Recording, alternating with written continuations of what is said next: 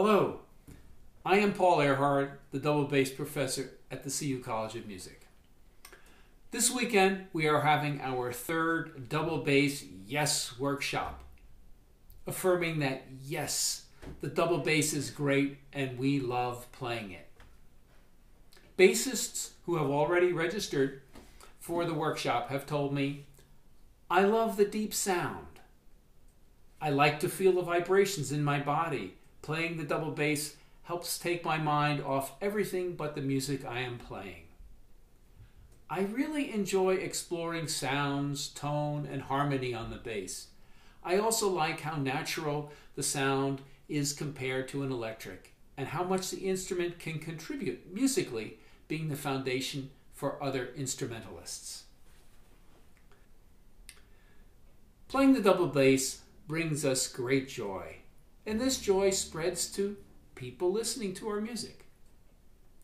Whether you are relatively new to the double bass or have been playing for a number of years, the workshop is designed to help you improve your skills as a double bassist. Our Double Bass Yes workshop will be a kind of retreat, a time to refresh, a time to get new ideas, a time to meet other bass players in the double bass community. We will slow things down and take a systematic look in a sequential way at some of the component parts that go into playing the bass. You will gain valuable information and skills to make bass playing even more enjoyable for you. These component parts are things that I personally think about every day in my own bass playing and my teaching here at CU. They provide me and my CU students with a strong foundation for all the music we play. As you know, playing the double bass is actually very complicated. It demands a lot of brain power, both for what goes on in the left hand, fingering, notes, and in the bow arm, producing the sound. Our primary focus this weekend is going to be the left hand. Specifically, we are going to explore many of the things that our brain has to keep track of when we play a two octave E major scale. Before going into more details about the workshop, I want to play for you the E major scale that we will be using this weekend. I'm going to turn on my electronic tambura. This is an instrument from India, and this provides the E drone. It's actually an E, a B, and then a high E. And I use this to keep track of where I am in the E major scale, particularly when I'm going at a slow tempo, which I'll do at the beginning of the scale. So I'm hearing the pitch of each note that I want before I play it. So I'm creating a pitch target. I hear a pitch and then I aim for that and then I play that note.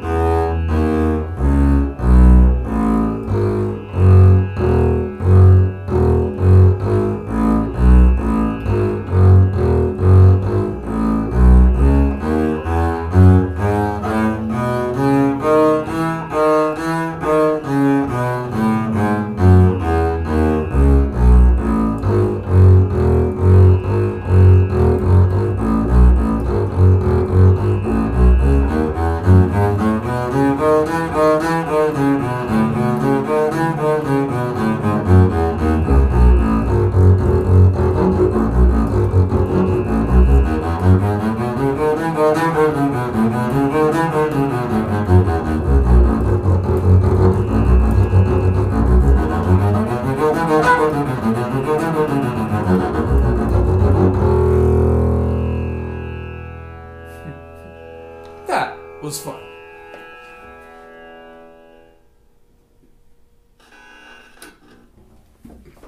Beginning slowly enabled me to think about pitch and the left hand technique of finger shape, the way my fingers are connecting to the string, and the smoothness and security of my shifts. I had a little pivot shift here.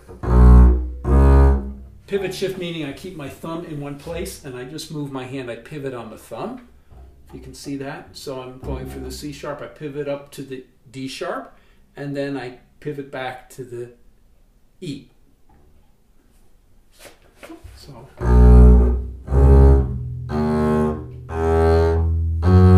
Then I pivot up here to the G sharp, smooth shift.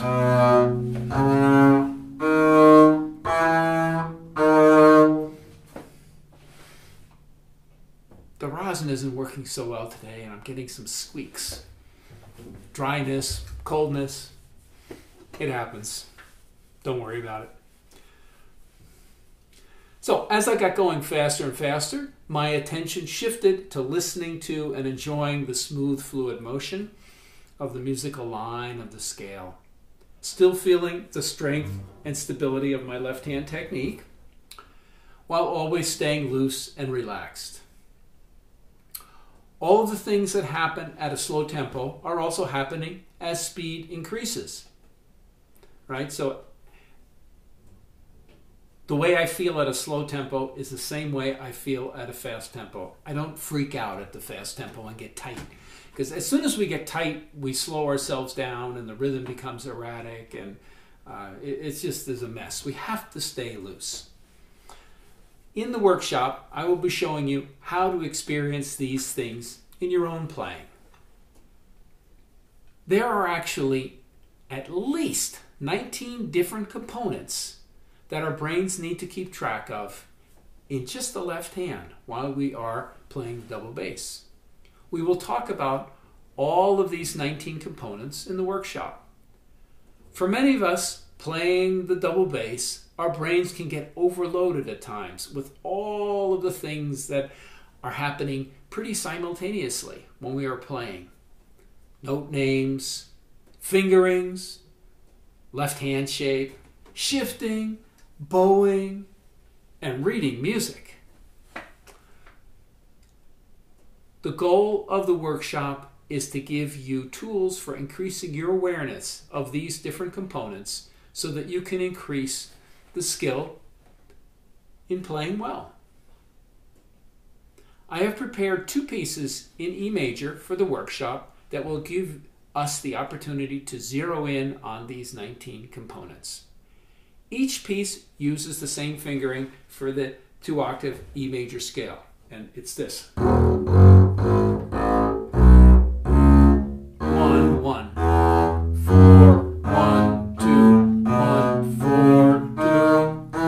That's the fingering I used in the scale. The first piece is the E major two octave scale preparatory shifting exercise which I'm calling Looking Behind Every Corner. Looking behind every corner is designed to give you time to zoom in on small portions of the E major scale, looking at all the shifts and all of the notes within each position that we encounter in the two octave scale. So right here we have we have an E and an F sharp. We're going to look at that we have the G sharp and the A. We have the E to the D sharp. We have the shift from the A to the B. We have a B and C, another hand shape, and we have the shift from the C, pardon me, C sharp and then C sharp to D sharp. That shift from 4 to 2.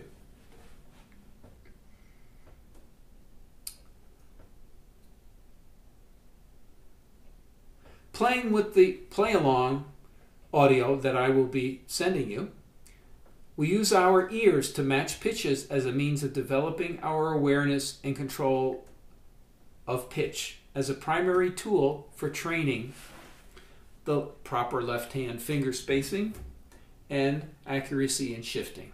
Right? So we're using our ear to tell us whether we are correct or not in the left hand. The second piece, a hill and a valley, is the expanded two octave E major scale that I just played for you. Beginning on our lowest note E, open E, and going all the way up to this E in fourth position on the G string. A hill and a valley has a little hill at the beginning. Come back down, and then we go all the way up. And has a little valley on the descent.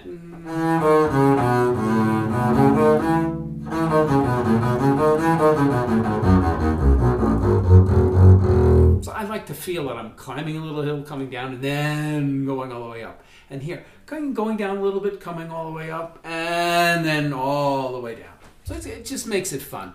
And so that I, I see this contour. You know, we have all these mountains here in the foothills and climbing and hiking. We're constantly going up and down. So I can relate my playing of a scale to just being outside in nature and walking around. And that makes it fun rather than just slogging away playing notes. As we will see in the workshop, a hill and a valley gives us a lot of fun possibilities for developing our skill in moving around the double bass with clear awareness of pitch, note location, and relaxed movement of our left arm and fingers.